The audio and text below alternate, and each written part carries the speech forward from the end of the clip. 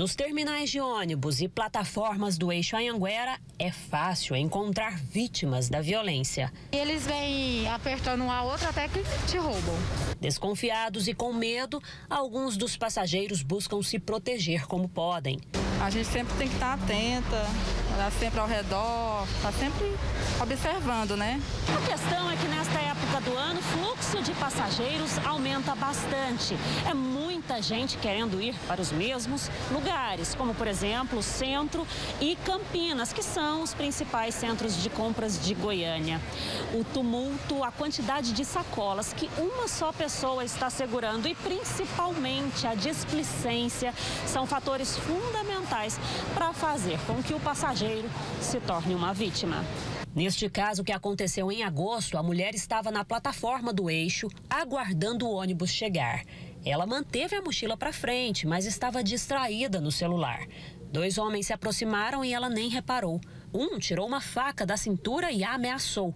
O outro puxou e roubou a mochila.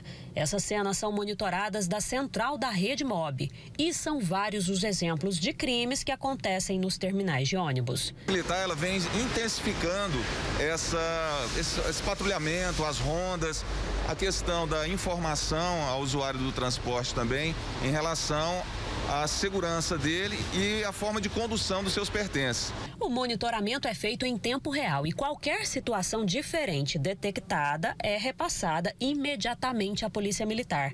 Segundo a Rede Mob, neste ano, o mês que mais teve ocorrências de furto foi em fevereiro. Com a pandemia e a queda no movimento, esse número baixou demais e só voltou a crescer em outubro, com 25 denúncias em toda a capital. Mesma quantidade registrada em novembro.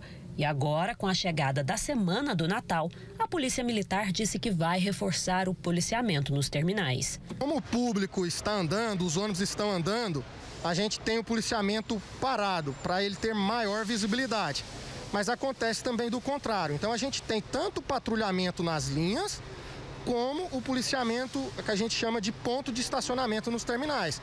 As viaturas vão estar em locais visíveis para a população, para os passageiros e podem ser acionadas também em caso de qualquer emergência.